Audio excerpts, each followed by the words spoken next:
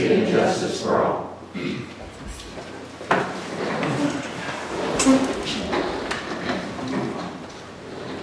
Good afternoon, I'd like to call this meeting to order. Committee of Meeting of the City of Smiths Station, Tuesday, April 11, 2023. Thank you so much for those that attended our work session.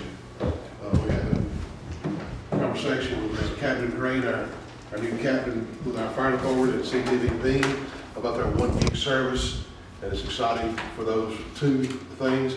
We congratulate and welcome Captain Green to the City of Smiths Station as uh, part of our fire department, uh, our volunteer fire department that is, that is doing great things, and so I'm excited about them being part of that. Thank you, Ms. Green, for doing the invocation and pledge. At this time, I'd like to establish a roll call vote to make sure we have a quorum. Yes, sir. Mr. Stringer? Here. Mr. Jackson? Here. Mr. Langston? Here. Mr. Cooley? Here. Ms. Green? Here, Mayor Copeland? Here. You received the minutes from the March 28, 2023 meeting via hard copy as well as digital. Are there any additions, or corrections? If not, I'll entertain a motion to approve. Motion to approve. Second. Cooley Langston, thank you. At this time, I'd like to uh, entertain a motion from the Historical Commission. Appointment of Richard Beverly to the Historical Commission serving a term vacated by Tony Corson. Can I get a first and a second? Make a motion, we do that. Mr. Langston? second. Mr. Green? Thank you. Mayor Copeland, I make a motion, we suspend rules and ordinances and resolutions so that we can address the matter before us tonight. Mr. Cooley has made a motion that we suspend the rules and ordinances so that we can handle business tonight. The business tonight um, is deemed that we need to handle it in a very expedient fashion, so therefore we're asking to suspend the rules and actions. Can I get a second from Mr. Cooley? Second. Mr. A first. And do we need a first or second? He made a motion. Second. Okay. Any discussion?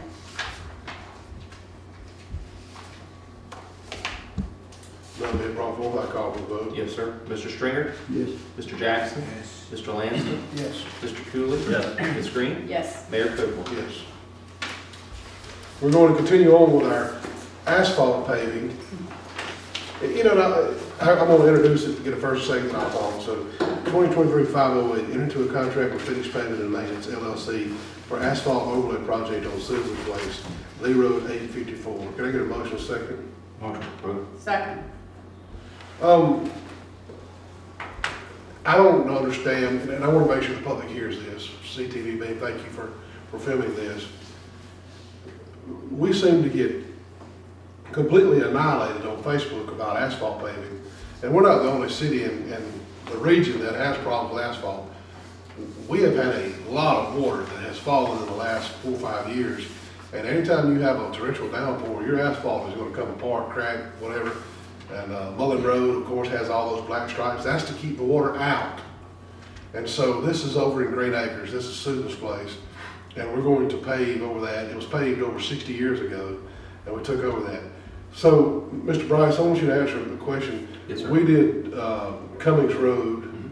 294, That's correct. for a mile, correct? Uh, three quarters of a mile. What was the price tag on that? Two hundred and twenty-two thousand dollars. So two hundred twenty-two thousand dollars for a quarter of a mile of asphalt. So, yes, we would love to pave every road in the city today. But two hundred twenty thousand dollars is real money, It's real money. And so I ask you to be patient with us. We're trying to do our best to, to patch holes, make our roads last as long as they possibly can. But if you ride around our region, from Phenix City, Columbus to, to Salem to Opelika, we're not the only ones that, you know, um, I rode through a road in one of our neighboring cities and knocked the front tooth out a couple weeks ago.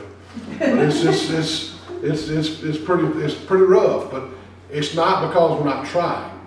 It's simply because when water falls, water gets into the asphalt, and if you have a crack and you have a freeze, you all know if water freezes in, in, in a bottle, that bottle's gonna explode. Or a Coke or whatever it may be. We've all had it happen in the refrigerator. That's the same scenario that happens on our roads. So be patient. Uh, call the city clerk, call the mayor's office, and as a speaking slate, let us explain to you what the level of importance is on our roads. Uh, we know that Green Acres is a problem. And we know that Susan's place, Susan's Road is a, is, is, is a problem. We know that Donna's place, Donna's Road is a problem. We're gonna address those. We knew that two ninety-four was a problem. We've addressed that. We know that Mullins Road is a problem, and it's gonna be on the MPO paving project by twenty twenty, the end twenty twenty-four. So we understand these things, but it's just not, it can't happen overnight. And so I'm asking you guys to be patient with us. This is road, a lot of people are gonna be happy about getting it paved, so be it. But there's gonna be other people on the other side of the city that are gonna be angry with us because we chose to pave this road, not their road. Be patient, we're doing it in a level of importance. So that's my soapbox, and I apologize. Any other discussion? When none being brought forth, I call for the vote. Yes, sir. Mr. Stringer? Yes. Mr. Jackson? Yes. Mr. Langston? Yes. Mr. Cooley? Yes. Ms. Green? Yes. Mayor Copeland? Yes.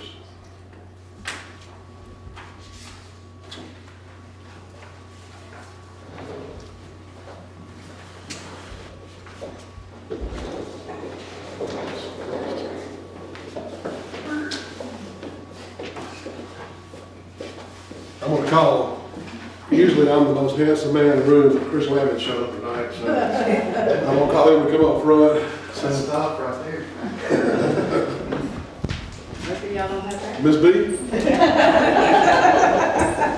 He comes as different, at least I brought the beauty with me. Ms. B was with you.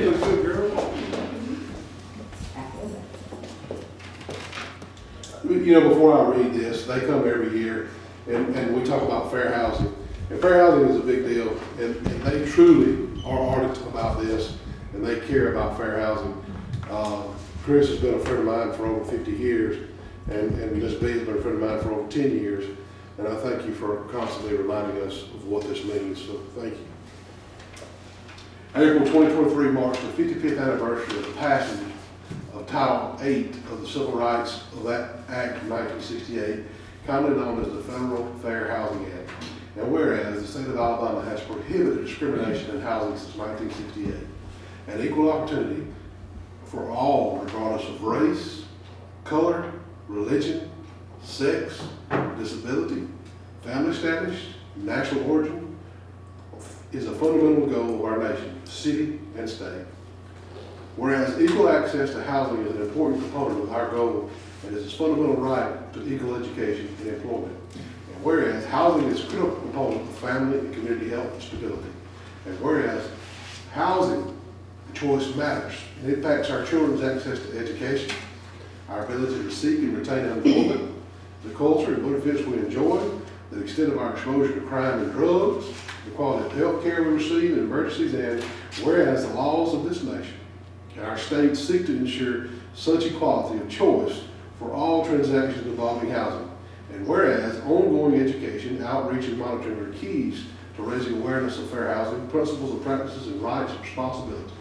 And whereas only through continued cooperation, commitment, and support of all Alabamians can we barriers to fair housing, the barriers to how, how fair housing be removed. Now therefore, I, the Mayor F. L. Bubba Copeland, along with our city council, hereby proclaim April 23, 2023 to be Fair Housing Month in the city of Smiths Station.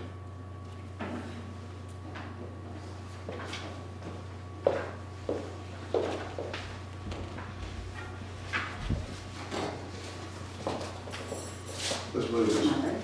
Is it your birthday? Happy 21st birthday to Miss B. Yes. Go ahead, sorry. You're good. All right.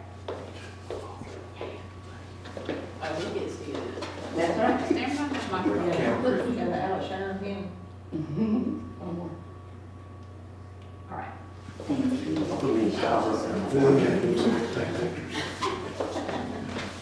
Thanks, Mayor, thanks, council.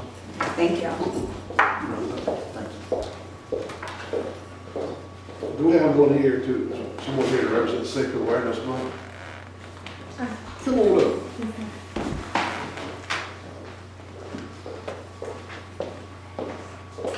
I'm Bubba Copeland. Emily Ross. It's a blessing to meet you, it's an honor, your hair is beautiful. Thank you. Whereas Sexual Assault Awareness Month calls attention to the fact that sexual violence is widespread and impacts every person in the community. And whereas the theme of this year's Sexual Assault Awareness Month campaign is drawing connections, prevention demands equality, equity, which calls on individuals, communities, organizations, institutions to change the systems that surround us to build equity and respect within our communities and workplace. Whereas rape, sexual assault, and sexual harassment are harm our community. And statistics show that one in six women and one in thirty-three men will be the victims of attempted rape or rape at some point in their lives. And whereas child abuse prevention must be a priority to co- confront the reality that one in nine girls and one, one in fifty-three boys under the age of eighteen years old experience sexual abuse or assault at the hands of an adult. And whereas we must work together to educate our community about sexual violence, prevention, supporting survivors, and speaking out against harmful attitudes and actions. And whereas the first step is increasing, increasing education, awareness, and community involvement to create a safer environment for all. Now, now therefore, be it resolved that the city of Smiths Station, the city council, the mayor, FL Copeland hereby proclaim April 23, 2023 as Sexual Assault Awareness Month in the city of Smiths Station.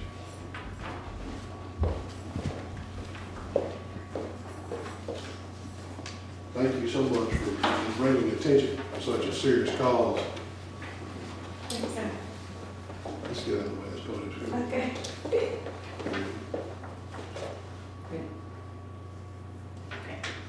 Thank you so much, appreciate you.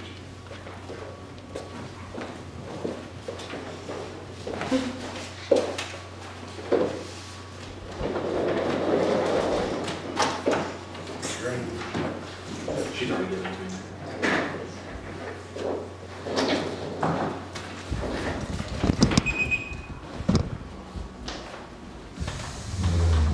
At this time, we enter the public comment section of our meeting. We have Ms. Blanche Moore of 145 12 Oaks Drive that would like to come forward and speak with us. Thank you so much, Ms. Blanche.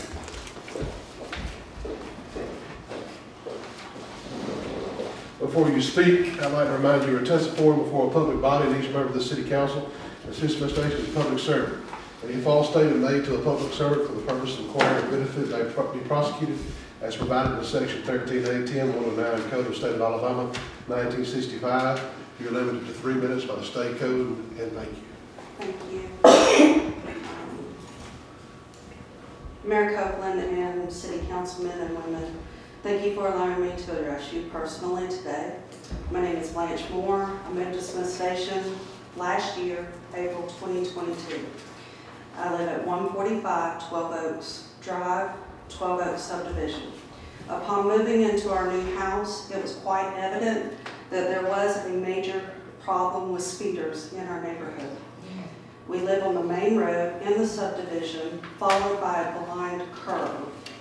Our first encounter was with a FedEx driver who was delivering, and he came around the blind curve um, at a speed that was alarming. I was outside with my grandchildren playing, and unfortunately, it rattled me.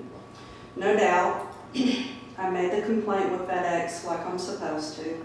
I usually don't like making complaints. I like to handle things professionally, like I'm doing now. By the end of September or so, I had my feeling, or my feel of watching people speed in and out of our subdivision. As a result, I called and spoke to your assistant, um, and I'm still learning, so I apologize um, that I don't know names and everything. So, um, in the process, it was revealed to me that speed bumps had been previously placed in our subdivision, but then they had been moved due to complaints. Your assistant went on to say that I would need signatures and another approval to have them placed back in the subdivision.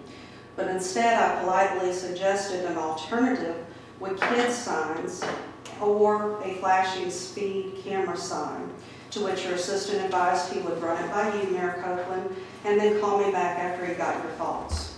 A few days later, I received a call back, and he advised that it would take time, so on and so forth. I completely understood that.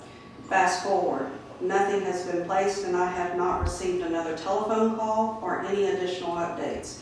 Additionally, our one and only speed limit sign has been removed as of February this year. So, I'm coming to you because today, this morning, my fiance was actually mowing the lawn. Another delivery truck came around the blind curve and almost hit him. He was close to the road, trying to mow our lawn. That being said, we're now seven months. I still haven't received anything. I will admit, I'm new, a citizen, and still learning the processes over here again. However, I'm far from naive. I've worked on several projects, councils, and other matters to include, but not limited to making sure Marsy's Law was put on the ballot for Georgia to ensure victims' rights were protected. So I'd like to bring that to your attention. Okay, all right. Um, so please, please, please stay there. Yes, sir. Um, Uh, the kid signs, I'll have them ordered tomorrow, okay? Um, and I'll, we have a family member in here that has a special needs child, and I'll talk to them privately about, there's ways that we could have special needs child signs put up, which then in, in, even more brings awareness. Um, the reason the speed bump thing come into place, I can't give names as your mayor, but we have several people in this city that are not completely there. Is the best way I can put it. And so they demand that, that, they want this, they want it now. So there's a two-thirds rule in the city. And the two-third rule, if you get two-thirds of the signatures of your subdivision to have speed bumps, we have speed bumps sitting back in the office right now. I saw them yesterday. We can do that. But if, if you can get, the, the, there's somebody in your neighborhood that's already approached this, and, and he was very belligerent about it, and he did not try to do anything. So, I don't mind doing that. However, I will tell you this, and I wish they would not have left, but the value of your home will drop with speed bumps in your subdivision. Gotcha. So remember that, so you'll have that complaint against you. So the best thing to do, we can do signs, and we also have ordered a lighting sign that they have at school that says what the speed limit sign is. So I'm gonna repeat what I heard from you.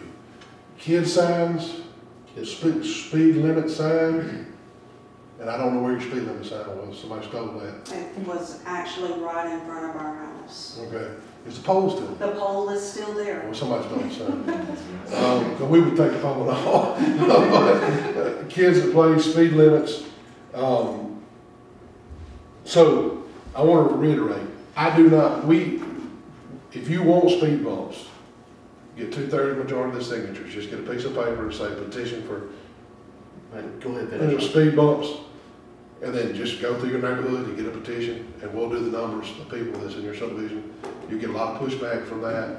Um, we won't do speed tables, that's out of the question, um, because the liability of the city on cars, you know, it'll tear them up. Mhm. Um, so, I, I, I, I hear you one hundred percent, and I promise you this will be addressed tomorrow for the kids that play, and the, the speed limit sign, and, and I'll talk to the family about special needs kids that play, which kind of hypes the, the, the attention to that. Um, And on her subdivision, since there's two subdivisions, you know, how that road Castlewood, does she have to get those two or just literally the twelve Oaks part? I'll go, I'll be okay with twelve Oaks. Okay. I'll be okay with twelve votes, two thirds, you know, but you're gonna get a lot of pushback, because, because we did this in a subdivision, and we put it down without, this was, I was naive. I did it, and within two hours, my battery died on my phone, and, and my wife's battery died, and it, it, because people were complaining about it. So, that's why I said the two-thirds majority of, of people. And, and, and I, and I understand, um, we paid two ninety-four Cummings Road, and now it's, it's Talladega.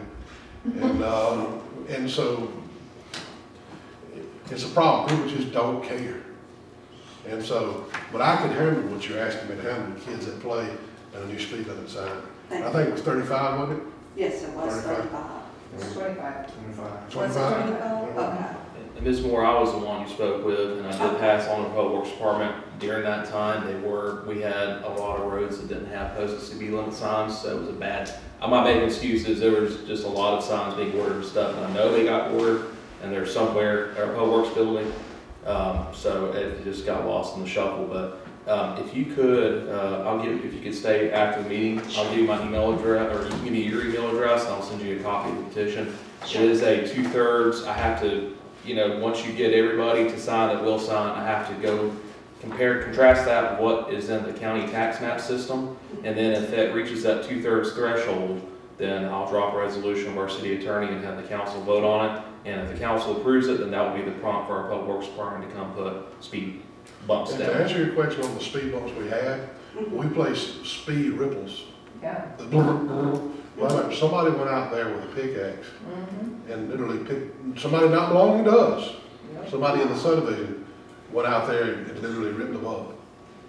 And I understand that y'all have somebody that understand what a muffler is in your subdivision. I haven't. And so that, we believe that was the person that, that did that. But anyway, that's, that's neither here nor there. I, I hear, I hear you and I'll give you an answer. Give me a, two weeks Yes, sir. and we'll get it done. Thank. Um, like I'm most just of more the- concerned about life, that's all. And most of the people coming through your area, if they resident of that area or just new comes in. It's both. So We live people, right there, um, as soon as you come in, we're like the, I believe, the fourth or fifth house that's on the left-hand side, right before you start hitting into the curb. So you're Bob Hughes next door neighbor? Uh, yes. so is that a, is those, uh, yellow and black, uh, black and white speed limit sign? There was a white and black speed limit sign, but it was taken. And I woke up the next morning, and I'm like, well, where's our speed limit sign? The reason I said that because, uh, you know, the, the yellow and black sign, the warning sign said this is what you recommend to drive. But if you know the speed limit is twenty-five miles an hour, black and white, why can't you have this adapt, uh, somebody to monitor that and write a few tickets? We can, but the sign's gotta be in place. We can do that. Thank you. I think one of the things that, you know, we, we bought, I think we did now, uh, the little flashing signs. We had a portable I one, know I the school thought. got them. Now, where I was, uh, located. Ours is we still being placed on the trailer. We got a trailer that's gonna be placed on and it'll be drugged to different locations, set up. And, and that would help, we couldn't leave them there permanently. You know, they would, probably could be there a week or two or something, because there are other locations have the same problem all over the city of Station. And if, if you don't believe it, you just sit at my house for about five minutes, you think you're gonna get run over. And speed limit is twenty-five on the road, and they're running sixty. But that's nothing uncommon, you're right, if we don't, you know, and, and it's posted, but it don't make no difference, people just wanna be stubborn and stupid. So that, that's just the way it is, we hope we can, we can get these flashing signs out, at least it will slow it down for a while, and then we have to go back and do it all over again. Thank you. Thank you. I will tell you s- something frustrating just to add insult to injury. We mowed Somerville Road today, or yesterday, and I rode home today, and the side of the road was full of trash that hadn't been mowed. So it meant somebody throwed it out on a twenty-four hour period. I'm like, wow. It's unbelievable. At this time, I'd like to entertain the council member reports. Does anybody have any council member reports? Don't forget our Rocking on the Rails, August twenty-second. No, August, April. April, same thing. It's, uh, April, April twenty-second. Um, it'll be an all-day event, barbecue cook-off, if you think you can cook. Um, come cook, get in, get involved. I think, uh, we vendored out, we got a We back have, order. we have fifty-five vendors and a waiting list of about ten. We have a night- concert that's gonna close the night out. It's gonna be an exciting time here in the city of Smiths Station. And so I challenge you to, to put that on your calendar, April twenty-second, not August twenty-second. I'll be the one to, sh- I'll probably show up in August too, so, anyway. So, thank you all so much. At, at this time, I recognize the media, CTV Beam, and, uh, I'll give the credit to Melissa again tonight for being here, uh, from CTV Beam. It's an honor and a privilege. Uh, we grew up together. She did, she invited me to a Valentine's Day years ago. So at this time, I entertain a motion that would be adjourned. Move that this meeting be adjourned. Second. Thank you.